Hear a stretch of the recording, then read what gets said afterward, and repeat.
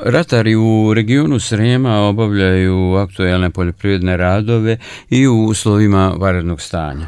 Tako je i u Šitskoj opštini gdje smo u Ataru Bačinaca na njivi zatekli Miodraga Čavića koji obavlja pripremu za proizvodnju duvana. Sad bacamo džubrivo za duvan.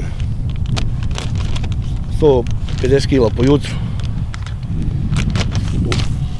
Nabavili smo neko novo kao baš specijalno za duvan, pa ćemo da vidimo šta će biti. Zorki na domaće. Svi pričaju uzimajte domaće, pa ajde sad uzmemo domaće.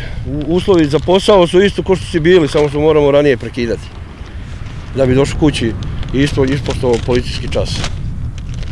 I onda kući sedimo, ali ajde, mislim, u polju nisi nikom pretnja. E sad, ajde, ispoštovat ćemo, pa ćemo vidjeti. Naš sagovornik se dugo godina bavi proizvodnjom duvana, a iskustvo je preneo iz Hrvatske gde je nekad živeo. Duvanu od e, 98.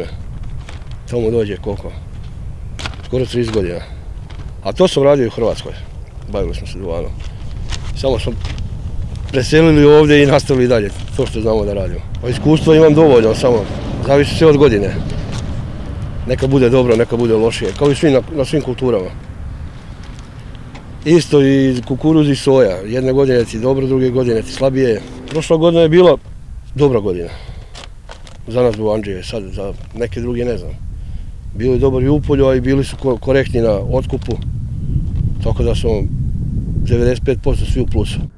Uz povoljne vremenske prilike i visoke dnevne temperature e, koje pogoduju obavljanju poslova, ratari u Sremu očekuju da će na Sremska polja ipak stići i kiša.